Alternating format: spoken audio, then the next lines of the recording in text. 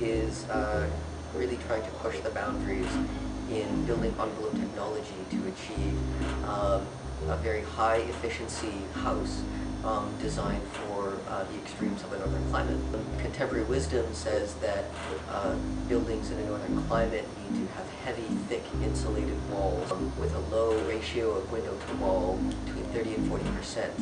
Uh, one of the starting points for the design of North House was to turn this convention on its head and to look at how we could get a building with 75 plus percent glass ratio. This is mainly achieved by uh, a design philosophy which we call DRESS, Distributed Responsive Envelope System. It's, uh, it's like the metaphor of how you dress in layers in the winter. Um, this house has the same philosophy. Starting from the inside of the system, we have a heavy insulated wall at the north facade of the building.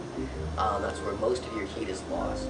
Because there is a lot of glass in the building and because at certain times it's important to have the exterior shades open um, so that we're getting the solar heat gain, the interior shades act to reduce glare and to provide privacy. The next layer is the glass system. It's an insulated glazing unit which is comprised of panes of glass on the inside and outside and then uh, the interior two layers are a mylar film. One of the other innovative parts of the glass is that we're trying to allow as much heat in as possible. Conventional practice wants to reflect a lot of that heat away because um, we don't want to deal with the cooling load, but in this house we want to harvest heat and use it. It's a stick frame system that we can assemble in different components on site. Um, we're hoping to assemble the entire glass facade in about six hours um, when we're down in Washington. Uh, in order to do this, um, we have um, the back layer of glass on the glazing system is extended beyond the edge of the uh, whole unit by about a quarter of an inch. And this allows us to use a nylon stopper um, so that when we lay them in, the nylon stopper grabs those edges of glass. When we screw it in, it holds them in place.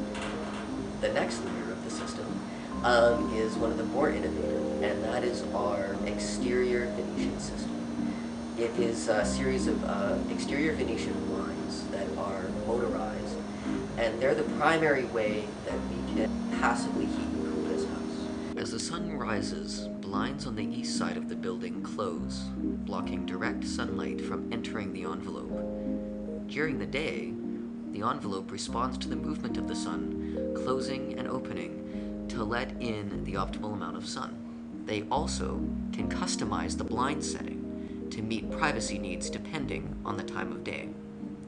For example, if the user wanted to host a dinner party, the blinds near the dining table can be closed to provide privacy and optimal lighting in the house. Another example would be at night.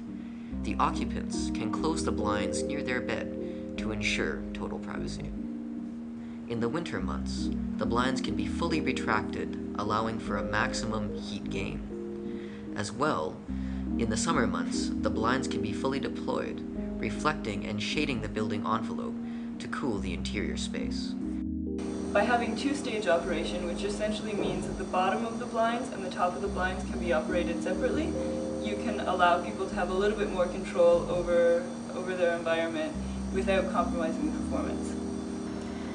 The uh, final layer of the system is uh, what we call the exterior veil, and uh, is a fabric veil um, that provides a sculptural expression for the facade um, that constantly moves and changes. This additional layer just helps to further diffuse the light and then further control unwanted heat gain when the shades are down. At night as well, it provides to